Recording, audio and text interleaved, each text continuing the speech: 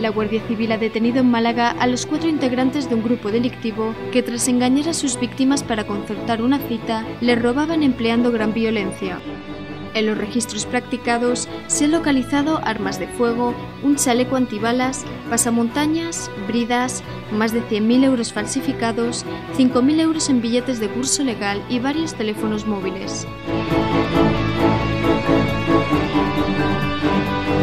Los agentes han determinado que el grupo estaba preparando un nuevo golpe relacionado con una transacción de dinero, ya que se encontró un maletín preparado con numerosos fajos precintados de billetes de 500 euros falsificados, junto con otros de curso legal.